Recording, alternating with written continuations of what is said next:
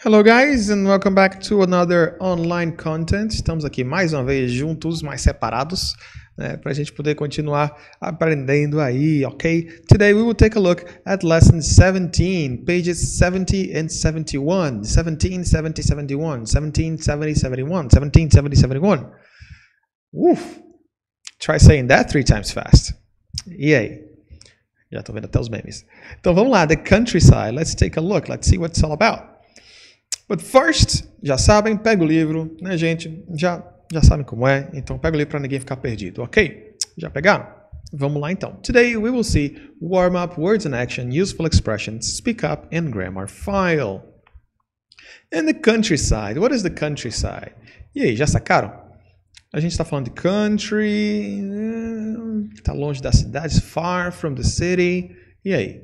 The countryside é exatamente o campo, tá certo, gente? Então a gente está vendo aí exatamente essa toda de fazenda, tá? Daquela vida do campo. E uma curiosidade, essas imagens que vocês estão vendo aí, tá? Tanto essa quanto a primeira lá, são de lugares que eu mesmo já visitei. Tá? São lá no, é, em Wisconsin, no estado de Wisconsin, nos Estados Unidos, foi onde eu passei um ano. E eu pude visitar essas fazendas aí, tá certo? É bem interessante. Não conheço essas vaquinhas, mas essas fazendas aí eu já passei. ok, gente. Let's go. Let's warm up. And I have a question for you. Do you prefer the city life or the country life? E aí? Vocês, what do you prefer, the city life or the country life? Have you ever been to the country? Do you live in the country? e aí, gente? And how different are the habits of people who live in the countryside from people who live in the cities? How different are the habits? Acho que na cidade a gente tem que se preocupar com muita coisa, né? E no campo também, mas I guess it's different things, right? In the country you take more care of yourself.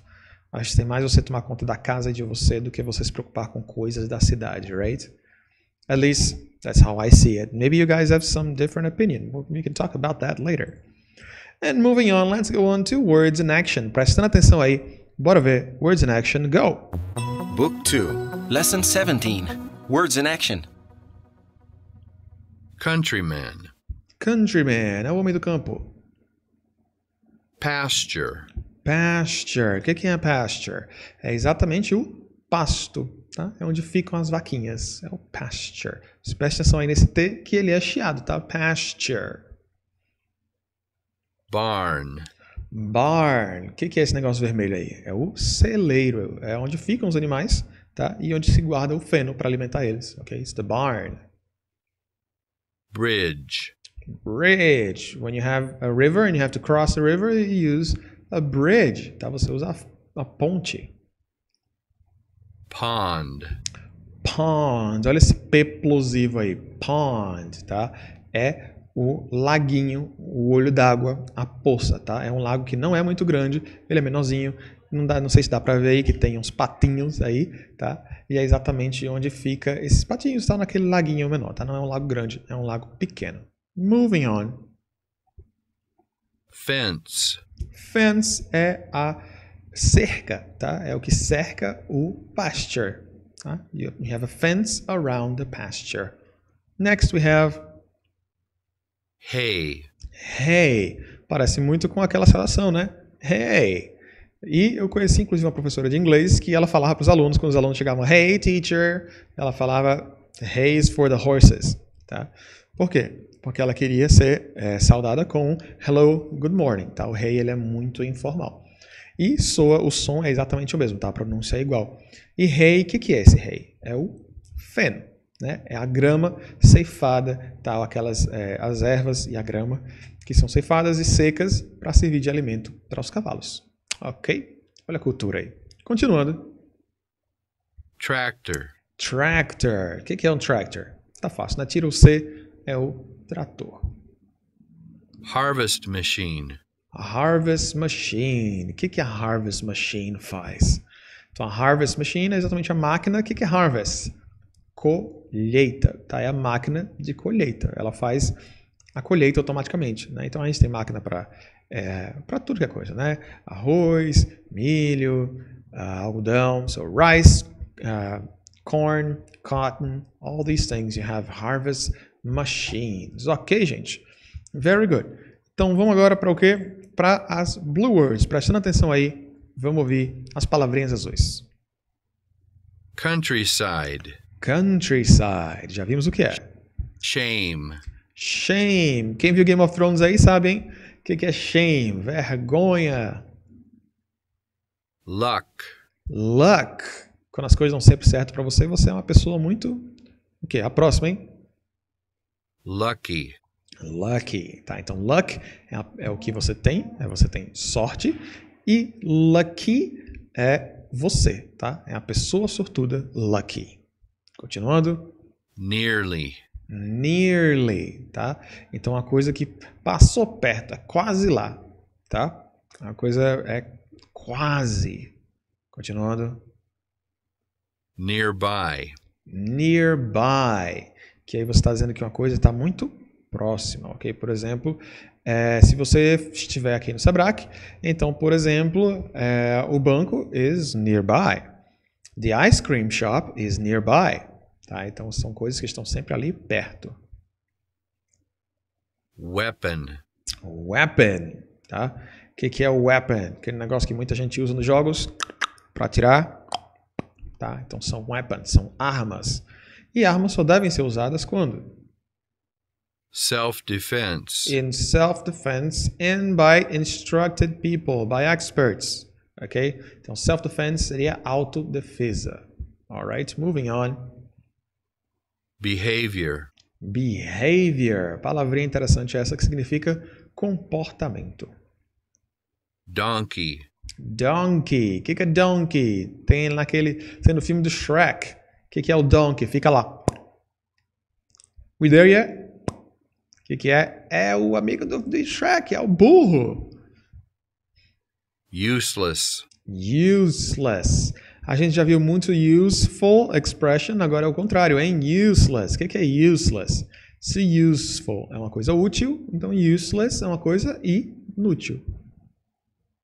Threat. Threat. O que, que é threat? Se eu chegar para você e dizer, I'm gonna kill you, vou te matar, o que, que eu estou fazendo? Uma ameaça. It's a threat. Belief. Belief. A gente já viu o verbo to believe, né? Que é acreditar. Então, belief é a coisa, é a crença. Alright? Next. Fool. Fool. It's that guy right there. Tá? Isso aí é um fool, tá? É o bobo, é o tolo, tá? O bobo da corte, ele era comumente chamado de fool, tá? Moving on. Laughter. Laughter. Sim, esse GHI é pronunciado como F, tá? Laughter. O que, que é laughter? Ha, ha, ha, ha, ha. Então, se você faz o ato de rir, tá? O que você está fazendo é uma risada, tá? É o substantivo risada. Vamos ver agora esses verbinhos aí. To scoff. To scoff. É, é engraçado porque a gente não tem uma tradução muito certa que a gente use muito de scoff, tá? Mas basicamente seria você é, re- responder algo com sarcasmo. Então, por exemplo, se alguém chegar para mim e fala I am an English teacher, e eu falo an English teacher, Hum, tá? Isso é escárnio, tá? Então, to scoff é você responder a alguém com escárnio, é você escarnear. Conhecia essa palavra? Pois é, é você ser irônico, ser sarcástico com alguém, tá? Isso é to scoff. you, English teacher. Scoffed. Scoffed, no passado, ok? E no particípio o quê? Scoffed. Scoffed as well. Very good. Next we have To, To? laugh.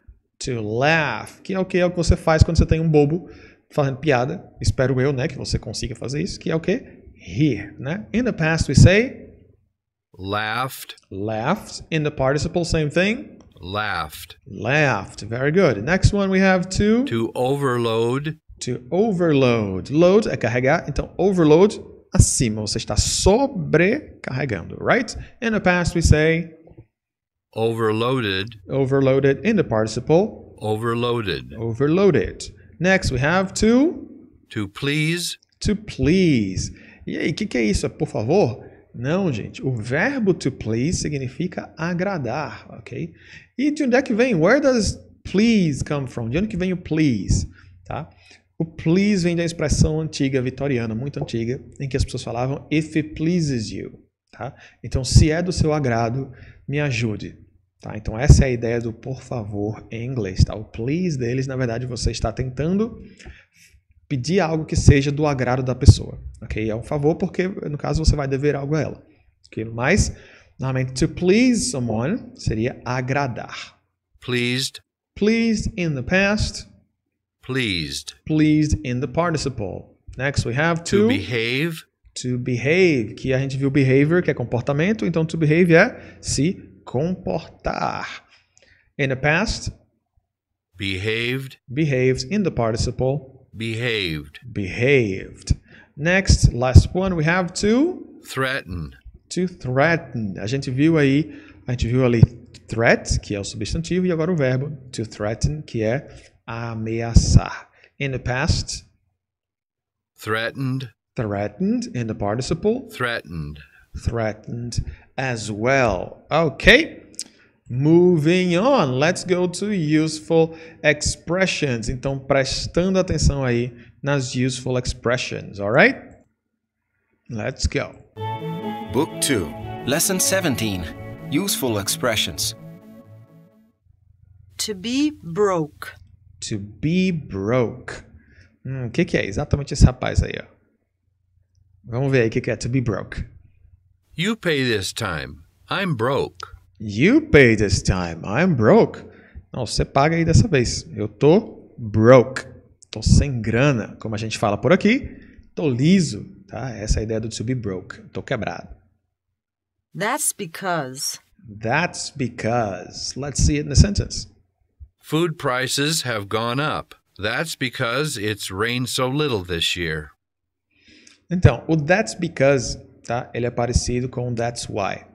É, a diferença é porque ele é inverso, ok? Como assim? Então, ela falou aí que o que? Food prices have gone up this, uh, have gone up. That's because it's rained so little this year. Então, ela falou que o que? Os preços estão altos. Isso porque choveu muito, tá? Então, você primeiro você apresentou o, a causa e depois você apresentou a você apresentou primeiro o efeito e depois você apresentou a causa. Tá? Você falou primeiro o que aconteceu, né? os preços aumentaram, e depois você falou por que, que isso aconteceu. Você falou isso porque choveu pouco. né? Os preços estão altos, estão altos porque choveu pouco. ok? Então a ideia aí é o efeito primeiro e a causa depois. That's because. Isso porque. Alright, moving on. To have a word. To have a word. May I have a word with you? May I have a word with you? Tá, então, posso dar uma palavrinha? É exatamente isso, tá? Bem parecido aí. To have a word. Piece of cake. Piece of cake. Ah, this is easy. Um pedaço de bolo? Mas será? Vamos ver aí. Math is a piece of cake for him. Math, matemática, is a piece of cake for him. Então, o que? Matemática é. Como é que a gente falaria isso em português? A gente tem várias expressões também. É uma expressão idiomática, tá certo? A gente significa algo muito fácil. Então, a piece of cake seria tipo o nosso mamão com açúcar. É moleza, tá? Como o pessoal fala no sul, melzinho na chupeta. Ok, that's a piece of cake. Alright? Muito bem. Vamos seguindo então. Continuando aí com speak up. Então, todo mundo prestando atenção no speak up, ok? Pra gente seguir junto, falando e repetindo e ouvindo e repetindo de novo, ok? Vamos lá então com speak up. Book 2. Lesson 17. Speak up. What do you want for dinner? What do you want for dinner? I don't mind, but maybe fish. I don't mind, but maybe fish. Can you pay for my sandwich? Can you pay for my sandwich? Sorry, I'm broke. Sorry, I'm broke. I think they won't like it. I think they won't like it. I know it's difficult to please everybody. I know it's difficult to please everybody. Who are they scoffing at? Who are they scoffing at? They're scoffing at you. They're scoffing at you. She's laughing out loud. She's laughing out loud. What is she laughing about? What is she laughing about? What did she say? What did she say? She said that laughter is the best medicine. She said that laughter is the best medicine. Do you need to talk to me? Do you need to talk to me? I'd like to have a word with you. I'd like to have a word with you. Is he good at writing compositions? Is he good at writing compositions? Writing a composition is a piece of cake for him. Writing a composition is a piece of cake to him. Can I put this bag in your car? Can I put this bag in your car? My car is overloaded. My car is overloaded. Does he behave well in class? Does he behave well in class? He has behaved very badly in class. He has behaved very badly in class. What's a threat to society? What's a threat to society? Corruption is a threat to society. Corruption is a threat to society. I heard he's sick. I heard he's sick. He's very sick. That's because he smokes too much. He's very sick. That's because he smokes too much. Ele está muito doente. Isso porque ele fuma muito. The boy is behaving badly. The boy's behaving badly. Please, behave, boy. Please behave, boy. What could you hear? What could you hear? I could hear a loud laughter. I could hear a loud laughter. I'll buy an extra vehicle. I'll buy an extra vehicle. Another vehicle would be useless to you. Another vehicle would be useless to you. He's a threat. He's a threat. Is he threatening you? Is he threatening you?